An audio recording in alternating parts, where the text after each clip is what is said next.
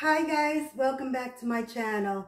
My name is Laura Bruno and in today's video I'm going to be showing you a great chicken recipe that has few ingredients, so delicious, so let's get started.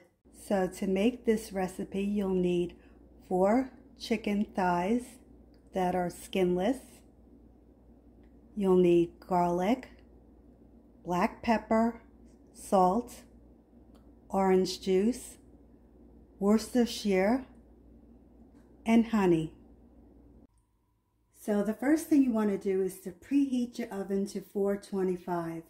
Then you want to get a bowl, and in the bowl you're going to take your honey,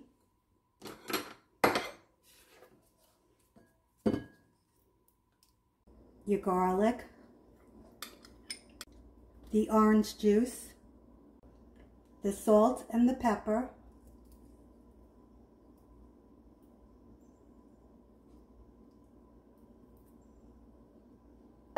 and the Worcestershire sauce. And give it a good mix. So once you have it all mixed, you're going to pour it all over the chicken.